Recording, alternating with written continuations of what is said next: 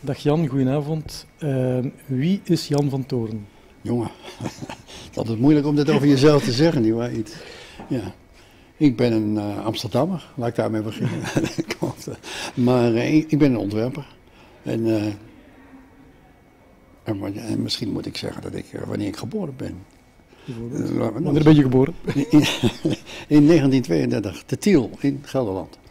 Op de grens van de grote rivieren. Dus tussen het noorden en het zuiden van Nederland. En misschien is dat ook, heeft het iets te maken met mijn liefde voor België. Met je liefde voor België? Ja. En uh, wat komt uh, Jan vanavond vertellen?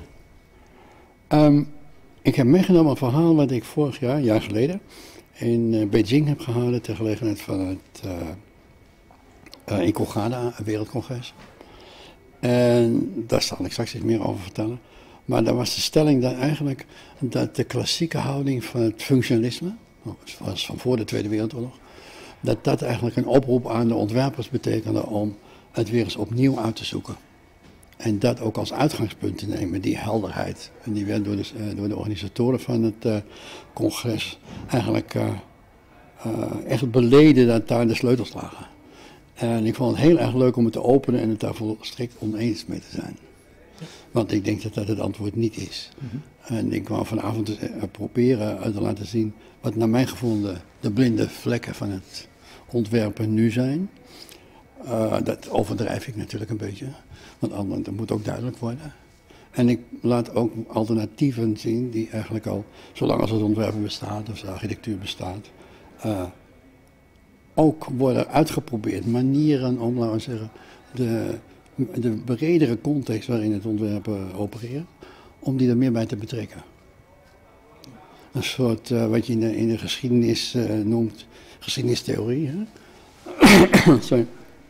Um, een meer integrale benadering van het ontwerpen. Ja. En daar hebben die blinde vlekken dan van alles mee te doen natuurlijk. Dat zijn de sociale aspecten, dat zijn culturele aspecten, linguïstische. En dat is duidelijk meer een houding uh, waarbij ik Lissitzky als uitgangspunt neem.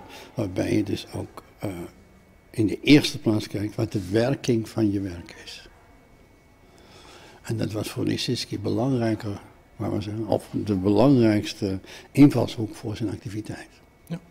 Vandaar dat het soms heel constructivistisch was, maar waarschijnlijk ook wel eens een rotzootje. Wat het helemaal niet was. Mm -hmm.